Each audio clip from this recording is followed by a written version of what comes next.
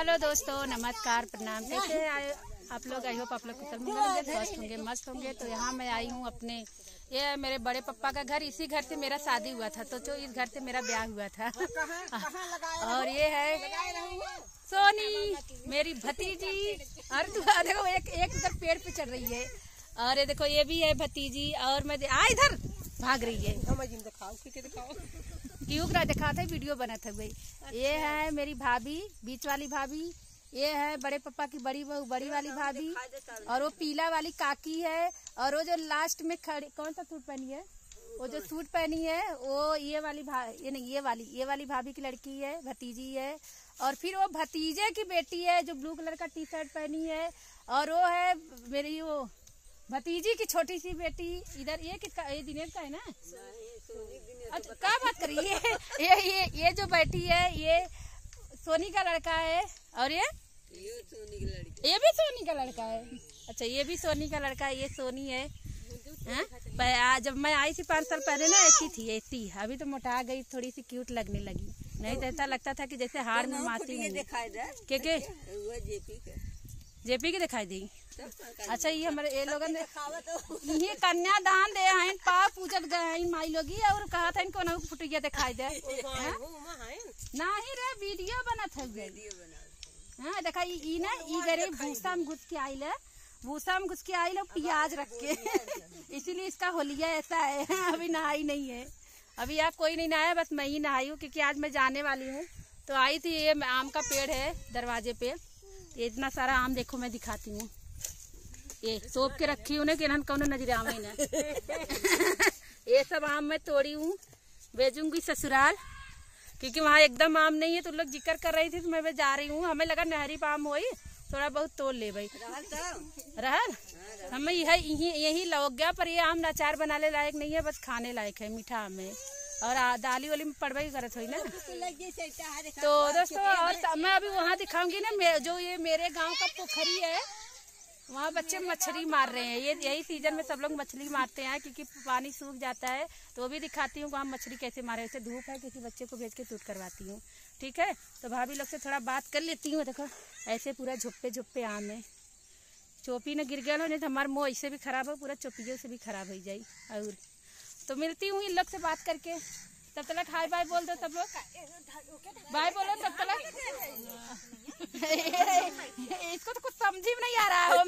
समझ नहीं आ रहा कि क्या कर रही है। हाय बोल सुन। हाय। हाँ देखो इसकी आवाज़ आई। सरिता तू बोल हाय। और दो लोग कविता कविता सविता और मोनी। ये तीन लोग नहीं है वो भी भतीजिया हैं। इन लोग को सबको मैं अपने पीछे पीछे स्कूल लेके जाती थी। और फिर छुट्टी होता था फिर सबको साथ में लेके आती थी। अभी सब अपने अपने जगह हो गए किसी से कोई मुलाकात ही नहीं होती है।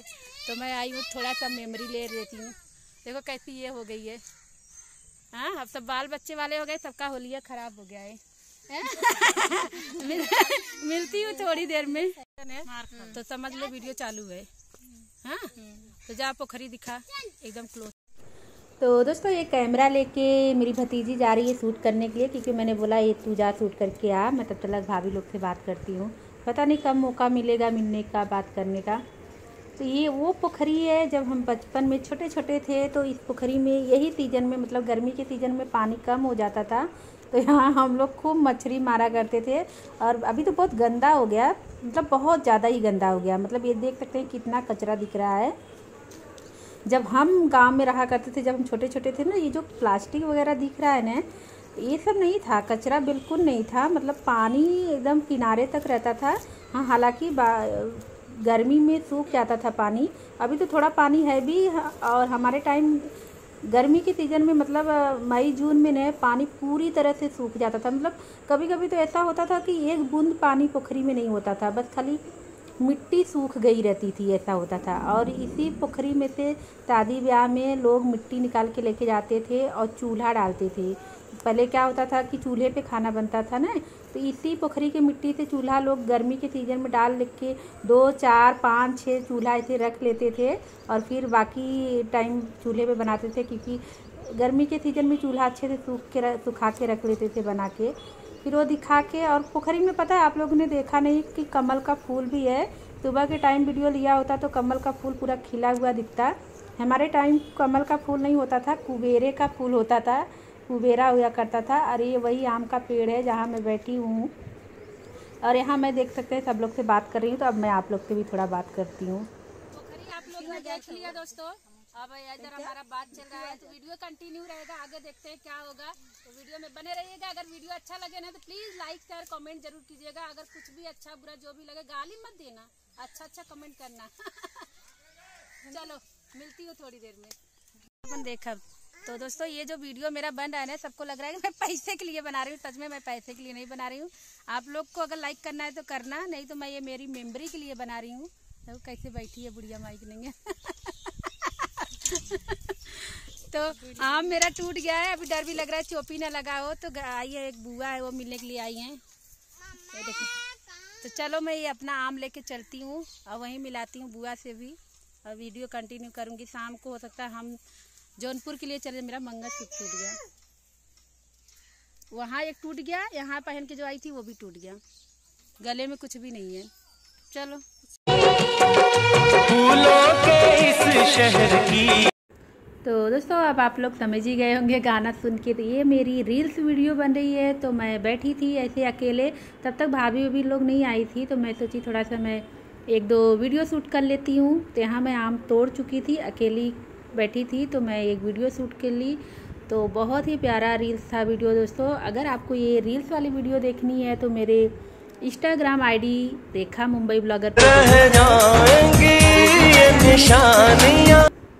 तो दूसरा गाना दोस्तों देख सकते हैं मैं मेरी दोनों भतीजियों के साथ और ये हैं काकी मेरी गाँव की काकी हैं। बहुत ही प्यारी हैं जो कि बेटियों को बहुत मानती हैं। तो हम साथ में बैठे थे तो मैं एक रील काकी और भतीजी लोग के भी साथ बनाई। बहुत ही अच्छी मेमोरी थी दोस्तों। आई होप आप लोग को मेरी गाँव वाली वीडियो अच्छी लग रही हो। तो वीडियो अच्छी लगती है तो प्लीज़ दोस्तों लाइक शेयर कमेंट ज़रूर कर दिया करें। प्लीज़ ग्यारह बजे। तो दोस्तों हम लोग आम तोड़ के ऐसे ही हम लोग पहले कितना काम करते थे। सारा कितना सारा जो भी सामान होता था, हम लोग ऐसे सर पे रख रख के ढोते थे। और इधर भी आम लगा हुआ है। उधर फेरी वाला आया है टब खरीदा जा रहा है। यार कितनी अच्छी अच्छी मेमोरी है ना सच में ऐसा लग रहा है ना कि काश में थोड़ी दिन और रुक जाती काश में थोड़ी दिन और रुक जाती। बहुत कम ऐसा लग रहा है वक्त इतना छोटा सा है ना। हाँ सब लोग बोले हम को बनाए ला देखो ये है हमारे बताई मैं ये है हमारे यहाँ का बिसारती। टब वो बेच रहे हैं और ये खरी, भौजी खरीद रही है। का भौजी? हमें खरीद के दे दे विदाई और दूसर की फौजी देखा? उधर तो गरिया वो जब भी रहता ना गरियाती ही रहती है। कभी मेरे बारे में अच्छा बोलती ही नहीं है।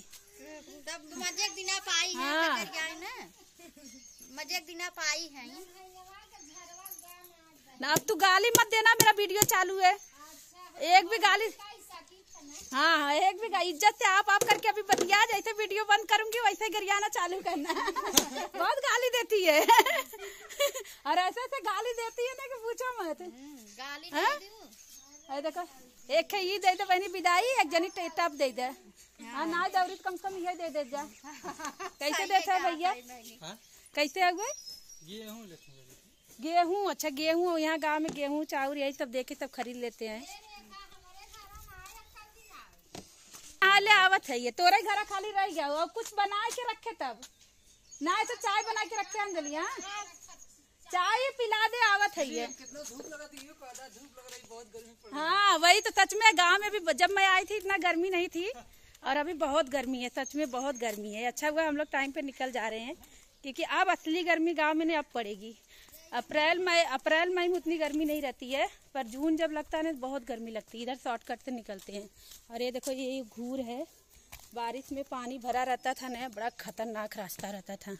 डर लगता था, अगर गिरे न तो ऊपर से पूरा कचरा, नीचे पानी। एक बार राखी का राखी था, मैं राखी लेके आई थी, जा रही थी भाइयों को बांधने, और राखी मेरा इतना, ऐसे जगह गिर गया ना, कि मैं उसमें घुस के निकाल भी नहीं सकती थी। तो चलो, घर पहुँच गए हैं। आम भी लेके। और इधर देखो बिपिन भैया है, हमारे खड़े हैं। हाँ कहाँ है तब लोग? कहाँ गए इनको मिला? घरे में। कहाँ है रे यार सब लेके हुए नहीं दिखाऊँगी। मिलती हूँ थोड़ी देर में। तो दोस्तों, अब दोपहर के चार बज गए हैं शाम हो चुका है और हम और भाभी रेडी हो गए हैं। भाभी के बहन के यहाँ जाने के जाने के लिए, क्योंकि जौनपुर में रहती हैं तो उनके घर हम जाएँगे, उनसे मिलने के लिए, फिर वहीं से हम चौकियाँ धाम सब जगह दर्शन करने भी जाएँगे, एक दो दिन रहेंगे भी। तो ये मैं मम्मी के घर आई हूँ, जहाँ मेरी मम्मी के साथ मैं बचपन में रहा करती थी। तो ये मेरे लिए बहुत ही इमोशनल, बहुत ही इमोशनल डे है। दोस्तों, मैं आपको बता भी नहीं सकती वीडियो देख के आपको समझ ही आ रहा होगा कि मैं कितनी इमोशनल हो रही थी और दरवाज़ा पकड़ के रो रही थी। माँ को महसूस कर रही थी, काश मेरी माँ होती और मुझे विदा करती आज। पर माँ नहीं थी, माँ का घर और माँ की यादें वहाँ थी। तो यहाँ मैं दरवाजे पे हम लोग जब निकलने लगते हैं तो पैर पकड़ के निकलते हैं और ये मेरी भतीजी शूट कर ली थी थोड़ा सा वीडियो। तो यहाँ गाड़ी आ चुकी है, मेरे भाभी के जीजा लेके आ गए थे। तो हम लोग जौनपुर के लिए निकल जाते हैं। हम लोग चार ही दिन मम्मी के यहाँ थे तो ज़्यादा दिन नहीं थे। चार ही दिन वो भी शादी अटेंड किए और निकल गए। तो ये तो मेरे लिए बहुत ही बुरा पल था। मैं बता नहीं सकती कि मेरे माँ के बिना मैं कैसे वहाँ चार दिन थी। मैं ही जानती हूँ। ये रास्ते का व्यू है दोस्तों, ये वो बाज़ार है जहाँ से मैंने कॉलेज की पढ़ाई कंप्लीट की है, पाली। तो वीडियो का ये डी एंड करती हूँ। मिलती हूँ अगले वीडियो में, तब तक के लिए नमस्कार।